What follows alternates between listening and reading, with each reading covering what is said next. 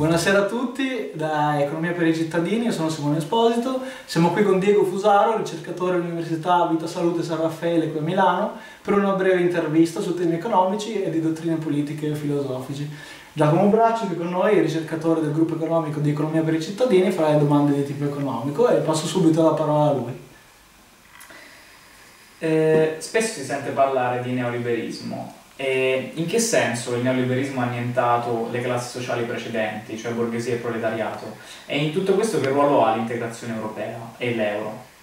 Sì, eh, oggi stiamo vivendo nell'epoca eh, del neoliberismo scatenato, nel senso che il neoliberismo ha annientato la politica totalmente. Il neoliberismo è quel dogma in nome del quale tutto deve essere sottomesso alle leggi economiche viste come indubitabili e non discutibili. La condizione neoliberale di cui siamo abitatori ha distrutto le precedenti classi, nel senso che, secondo la mia ricostruzione almeno, dal 1968 ad oggi siamo entrati in una nuova fase di capitalismo che io, seguendo le analisi di Costanzo Preve, chiamo capitalismo post-borghese e post-proletario cioè il 1968 ha annientato la precedente forma del conflitto, ha annientato la borghesia come classe capace di una coscienza infelice, tale da contestare il capitalismo stesso in nome dell'emancipazione umana, non dimentichiamo che Marx era un borghese anticapitalista,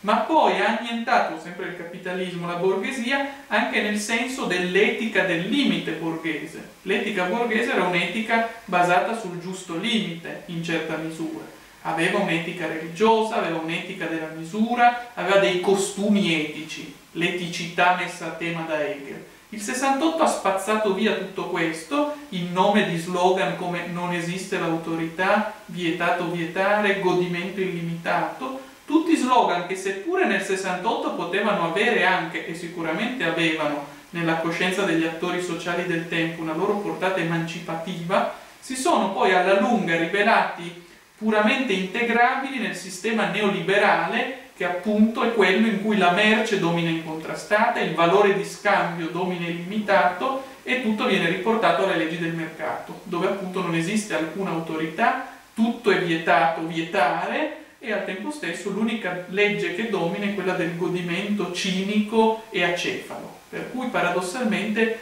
eh, si è eliminata la borghesia come freno a un capitalismo totalmente sviluppato dove appunto il capitalismo pienamente sviluppato della condizione neoliberale è quello in cui la forma merce si estende illimitatamente senza più alcuna misura e alcun limite, limiti che invece la cultura borghese pur contraddittoriamente ancora aveva. La situazione neoliberale è appunto questa, una situazione profondamente malinconica, come è stato detto, nel senso che si avverte la perdita di qualcosa e ciò di cui si avverte la perdita è essenzialmente la politica come tecnica, come arte in grado di disciplinare l'economico, come tecnica regia, diceva Platone nel politico, basiliche tecne, la tecnica regia che tiene insieme l'ordito sociale che se abbandonato a se stesso precipita eh, in quella disgregazione totale che si ha quando si producono le disuguaglianze più oscene o quelle che Platone nel politico chiama il mare infinito della disuguaglianza. Eh, attenzione, non soltanto la borghesia è stata eliminata, è stato eliminato anche il proletariato, non nel senso che non vi siano più gli sfruttati, oggi vi sono più che mai gli sfruttati, in forme peraltro sempre più indecenti e più osceni, ma è venuto meno il proletariato nel senso che si è eclissata quella classe unitaria dotata di una coscienza oppositiva e rivendicativa antitetica rispetto al capitalismo. L'odierna classe precaria che è infinitamente più estesa di quella proletaria di una volta, manca di una coscienza di classe, avrebbe detto Lukács. Eh? Bisognerebbe oggi riscrivere il capolavoro di Lukács intitolandolo Storia e coscienza del precariato. Qual è la coscienza che ha di sé il precariato? Dal mio punto di vista è molto debole. Il precariato ancora non ha maturato una coscienza di classe precisa e credo che uno dei compiti per i prossimi anni sarà di continuare la critica dell'economia politica sviluppata da Marx in questa direzione anche.